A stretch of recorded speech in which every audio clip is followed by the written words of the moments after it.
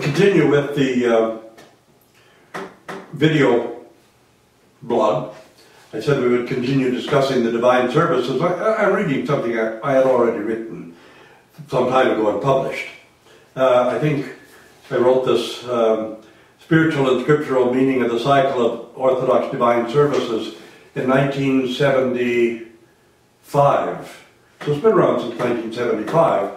And um, the incorporated it into scripture in the liturgy, you stand in the house of the Lord, which I've written also at the end of the 70s, uh, explaining the divine liturgy in terms of, of the Holy Scripture. This evening we're going to talk about Vespers, which is really the evening watch, which falls, the evening watch itself actually falls between 7 p.m. and 9 p.m. Vespers is generally celebrated around 7 in most places. Uh, we celebrated at 5 because of people driving up to two and two and a half hours to come to the monastery for services, and then having to drive back late at night. But 7 p.m. is the general time for Vespers, and that uh, corresponds to the times of the evening watch. And it was evening and was morning one day. For the Orthodox Church, Vespers is not the end of the day, but the beginning of the liturgical day, as it was the beginning of the day in, in Byzantium as well. Uh, as the creation of the world, it was evening and it was morning one day.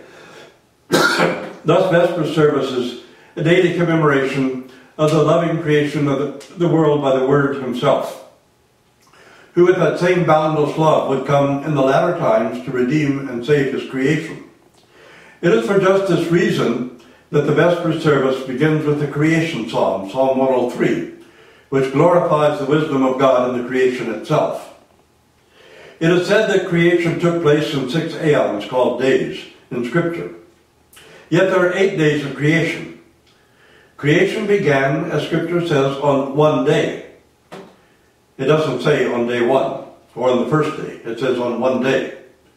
But the end of the creation cycle is not the sixth day. But Holy Pascha in Scripture, in Scripture we're told that God himself finished his creation on the sixth day. Thus from the sixth day until the coming of Christ was the seventh day. And this is why it says that God rested. It doesn't literally mean that God rested from all his creation, that he took a nap or something like that.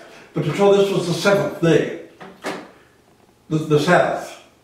God rested from creating. So the Sabbath stretches from the end of the creation until Pascha itself. However many centuries, millennia that was. When it says that God rested on the seventh day, this is a prophecy which foretells the repose of Christ in the tomb on the Sabbath, ending the seventh day, bringing to a close the seventh creational day, that is the preparation day. The seventh is the Sabbath, but it's also preparing us. All the prophets spoke during the seventh day of creation, preparing us for the coming of the Messiah. That in his resurrection we might see the dawn of the eighth eternal day, which is why Paul says he delineateth, he delineateth yet another day. The eighth day of creation in which we now live is the day of redemption. This is the time of our redemption. The eighth day, the day that leads us into eternity. I'm going to uh, step aside from the book for a moment. When we enter into Vespers, we realize it's an Old Testament service. Actually, the name of the service is not Vespers. Vespers simply means evening. And in practically every language, it's called just evening, or the uh, English have a rather charming word for it, evensong, song of the evening. I love that. I wish we could adopt it. But it's the, the uh, service for the lighting of the lamps.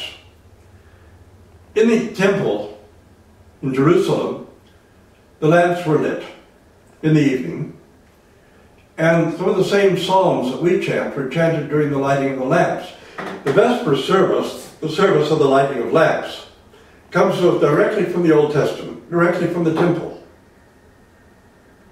And the structure of Vespers is part of Revelation. You know, the Holy of Holies was the type of paradise. It was there that God said he would fellowship with man face to face.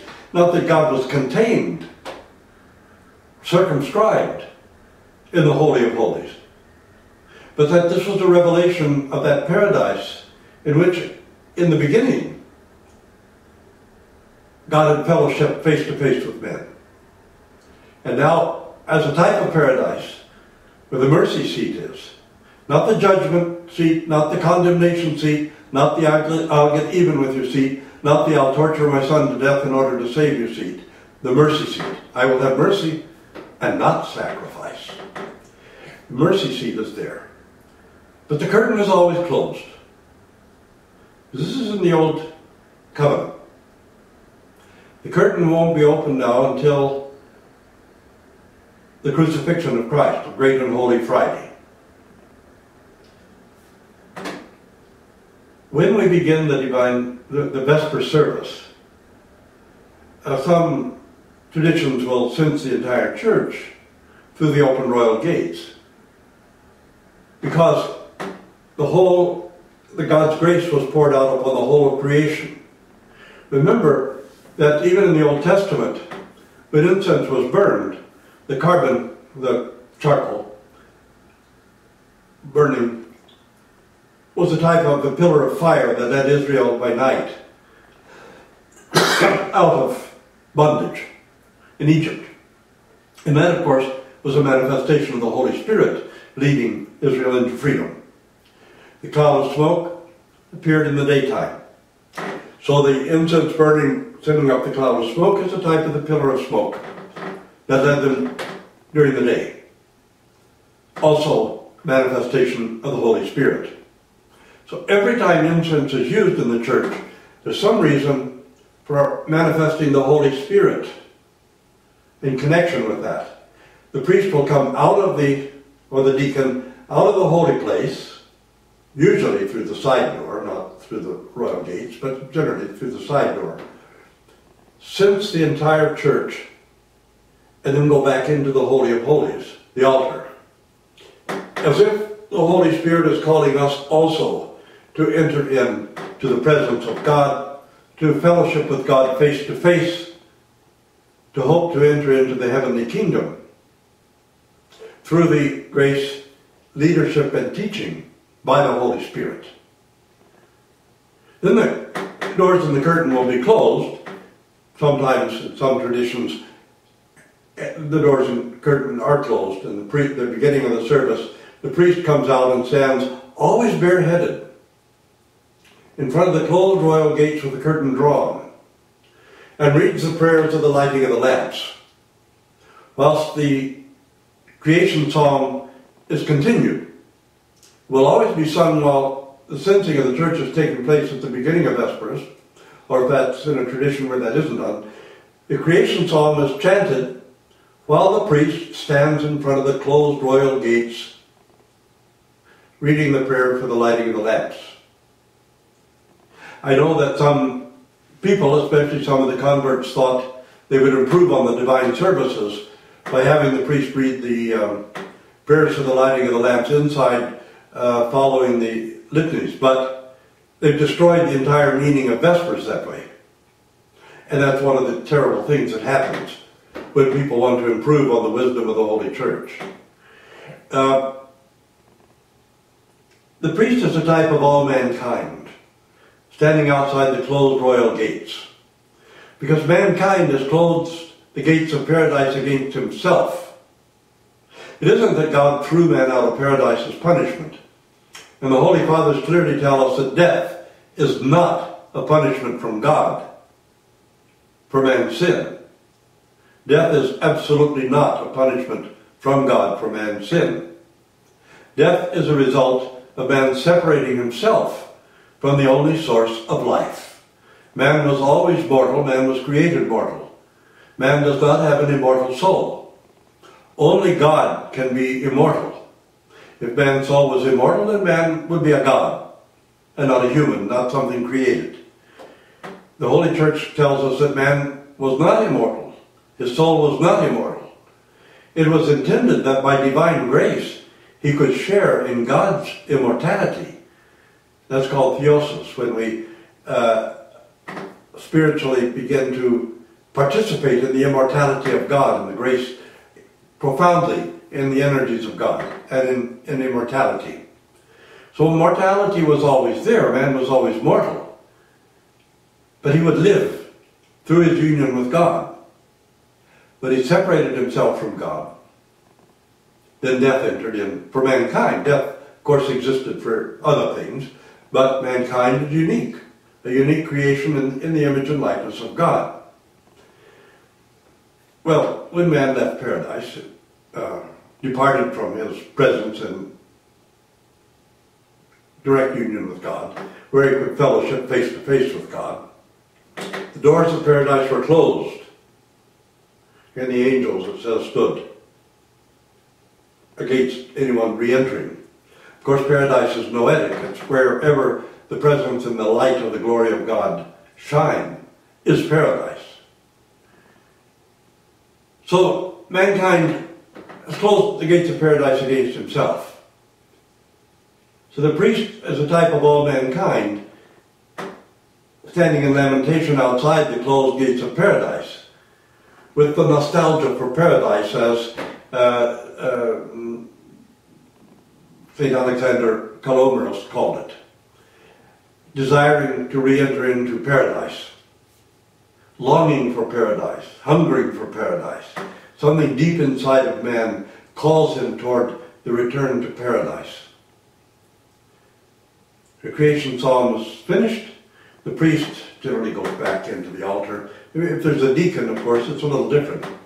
Then the litanies are served, the Lord I cried unto thee is chanted. Then, coming out from the side deacon's door, the north door, the entire church is censed again by the deacon or the priest. Again, the outpouring of the grace of the Holy Spirit. Lord, I cried unto thee, hear me. Hearken unto me.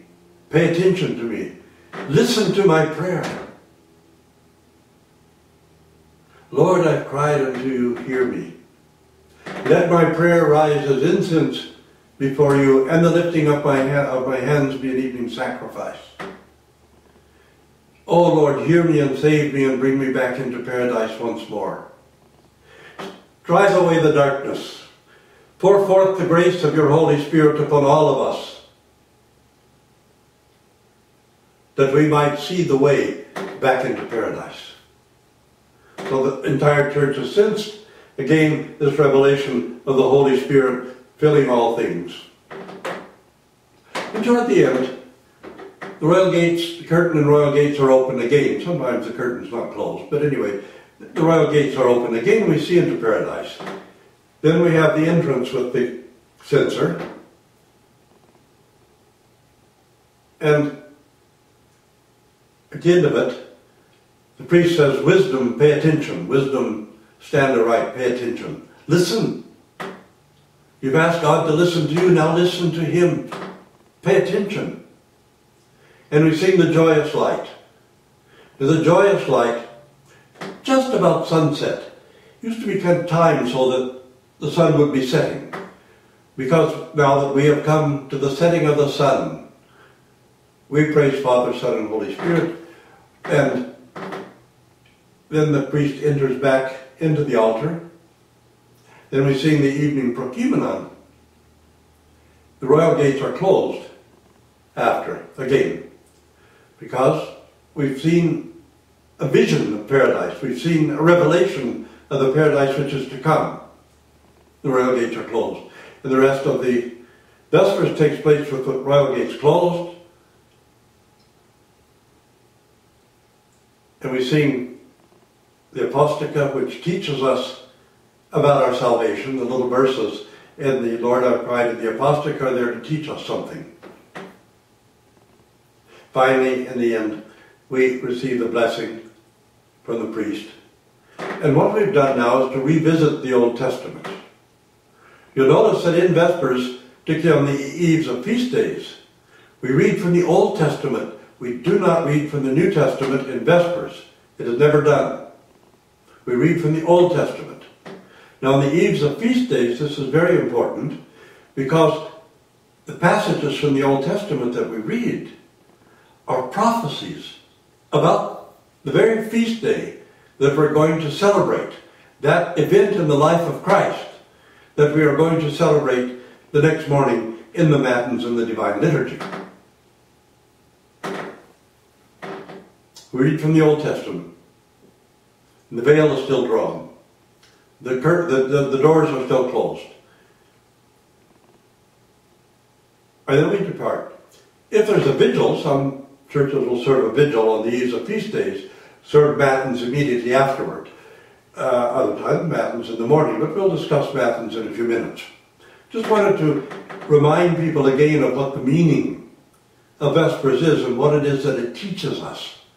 What is proclaimed to us in Vespers.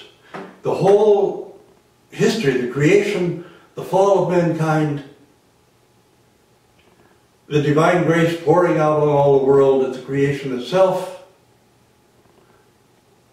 then the doors are closed.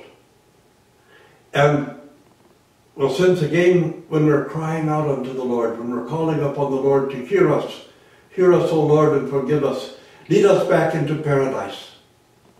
So we see again the type of the pillar and the column of smoke which led Israel out of bondage, the grace of the Holy Spirit to lead us out of bondage, to lead us back into paradise, to bring us back into communion with God, and to make our hearts paradise also. So the entrance, then we finish the service, and we can enter into Matins and it's a vigil. And um, I want to go ahead with Matins then this, this time. Uh, we have two other services between us and Matins normally. And these are not done in parishes because it's really not possible to do, done generally in monasteries. The first one is Compline, which is the night watch, and actually begins, it's between 10 and 12. 10, 9 and 12, sorry.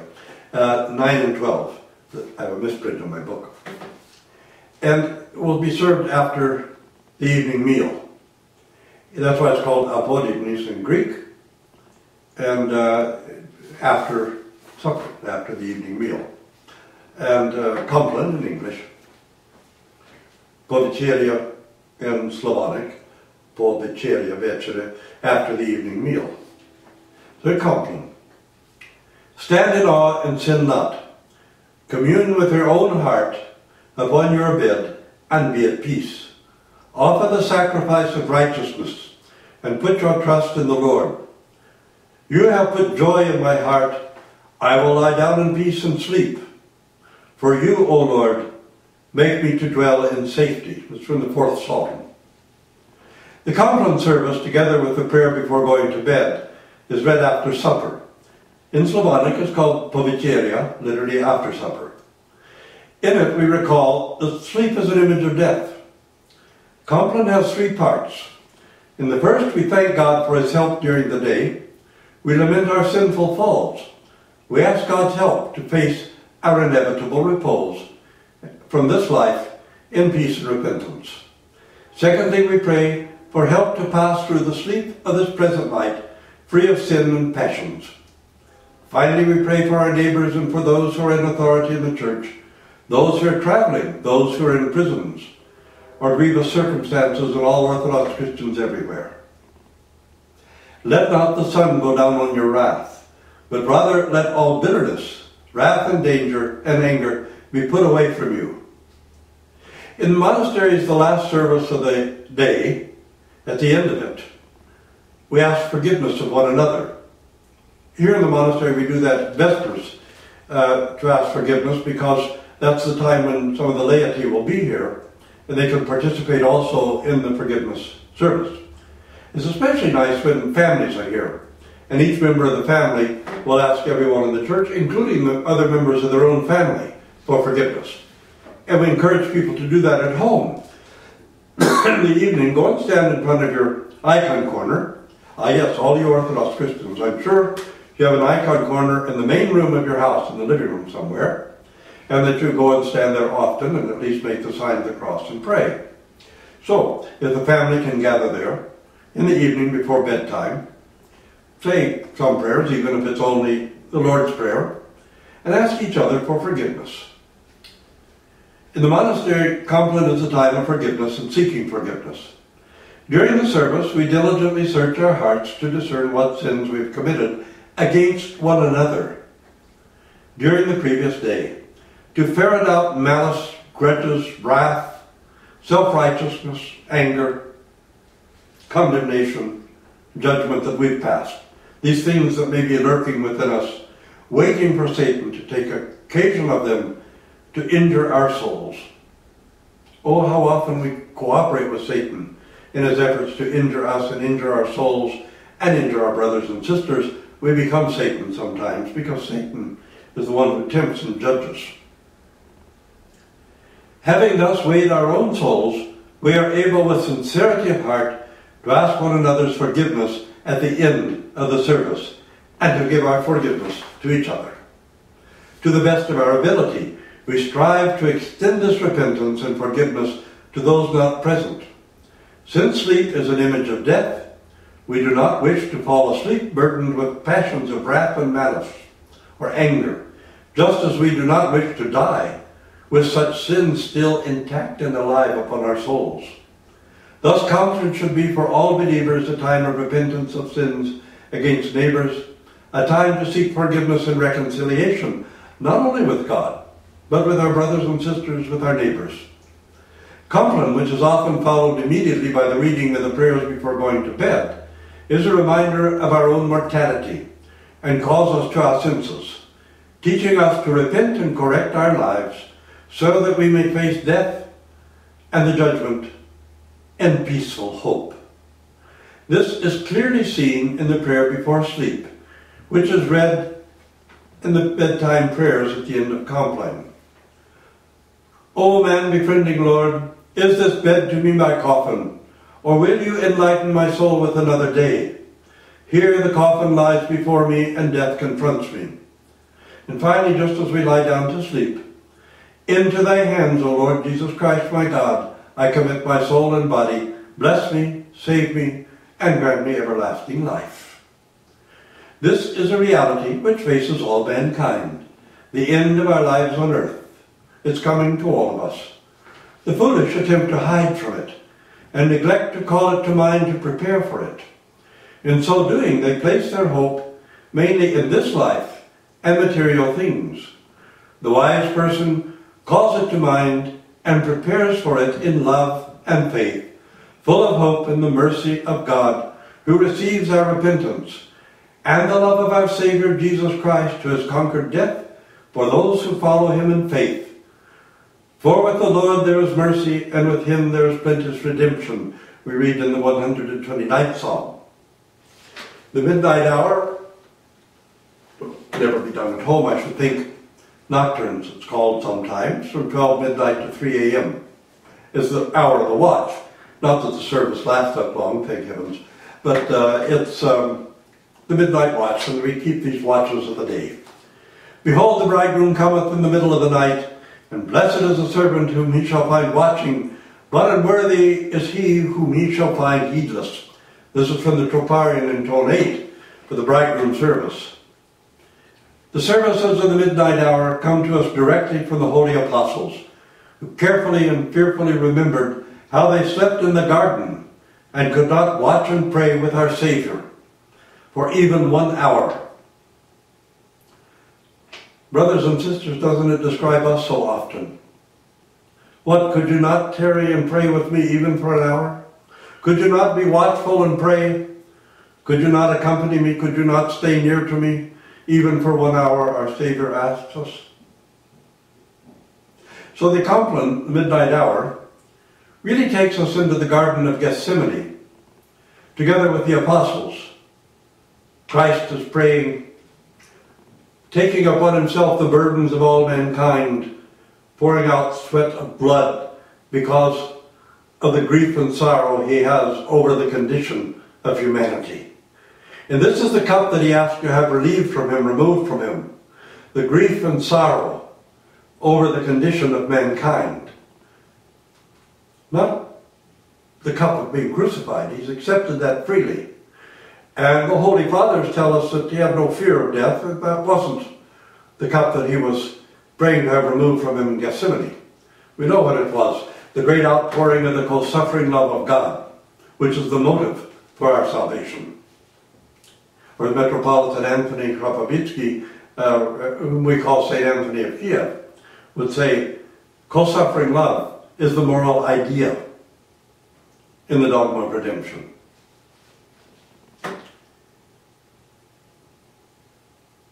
Hearkening to the Saviour's warnings, they passed his injunction on to all. Be ready, for the Son of Man will come in an hour which you do not expect. Watch, therefore, for you do not know either the day nor the hour in which the Son of Man will come. Watch, therefore, and pray constantly or consistently, that you may be accounted worthy to escape all these things and to stand before the Son of Man. For behold, I shall come as a thief in the night, and blessed is he who shall be found watching, and keeping his garments upon himself. Ready, always ready. This is from Matthew, Luke, and the book of Revelations all combined.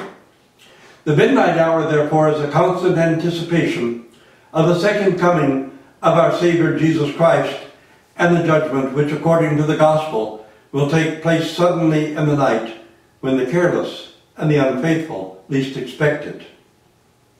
And I must say, brothers and sisters, that it is with a great deal of sorrow that I see that so many people have adopted this novelty doctrine called the rapture, which after all began only in 1840, a new doctrine. Because these people and those who think, I have a 100% guarantee that I will enter into the heavenly kingdom, no, you don't. You have no such guarantee. Our Lord Jesus Christ told you to watch and pray. If you have all of this arrogant self-assurance, you're not going to watch and pray at all. You're going to be asleep when the Savior comes. Besides, if you have that attitude, you can do any kind of wicked deed, thinking it won't make any difference because your salvation is assured. There will be no rapture before the coming of our Lord Jesus Christ. There will be many martyrs Many people will suffer martyrdom to testify to the gospel and to our Lord Jesus Christ, just as they were in the first three centuries. And as there was under the communists another time, under the Turks, and at other times. There is no rapture. Never let any Orthodox Christian disobey or disregard the words of our Lord Jesus Christ and not keep watch diligently. This service calls us to an awareness of the preparation for the inescapable event that we may not be given over to death and shut out of the kingdom. But meditating on the awesome day, watch. Keep your vigil lamp lighted and filled with oil. It's the prayer of Compline, the prayer of the midnight hour, or nocturne, brother. I remember Vladika Anthony Khrapovitsky preaching, I don't remember personally, I wasn't There, he died five years before I was born. Not in Texas, by the way. I was born elsewhere. But a lot of Russians were all packed and ready to go back to Russia. But they were thinking mostly about vengeance, getting revenge on the socialists first to cause the revolution, and then the communists who caused the Civil War took over after the Civil War. The communists didn't start the revolution. It was started by the socialists. It was Kerensky's revolution, not, uh, not Lenin's. He won the Civil War and threw Kerensky out. Kerensky was an atheist, a socialist, and the destroyer of Imperial Russia. Later taught at St. Vladimir's, at St. Vladimir, at uh, Saint-Serge Academy in Paris. That shows you the quality of Saint-Serge and its theology. Uh, but he, he was responded to these Russians who were so anxious to get vengeance and overthrow the communists and restore Imperial Russia. And Metropolitan Anthony was a patriot. He was loyal to the Tsar, the imperial government, and to Russia. But in one of his sermons, he said, uh, You all dream of returning to a homeland which has been taken from us. And your dream of the restoration of a smiting Tsar will punish the enemies. But none of you want to think about that homeland to which you must return and from which there is no escape. There may never be, said, another imperial Russia. Russia may never be free again. But you must all go to that homeland which none of you desire, but which none of you can escape. You must all return one day to the earth from which you were created. It's better, my brethren, to prepare yourself to return to that homeland in the hope of the heavenly kingdom than to think about returning to your earthly homeland to get vengeance. Those are the words of St. Anthony Khrapovitsky, Metropolitan of Kiev. Some people were infuriated by them, by the way. We're not going to go on to the dawn watch or matins this evening because it's a little long, perhaps waxing a little long. But this booklet, The Spiritual and Scriptural Meaning of the Cycle of Orthodox Christian Divine Services, send me an email or send a mailing address from the comment section of YouTube and I'll send anybody a free copy, 10 free copies, 50 free copies, however many you might want.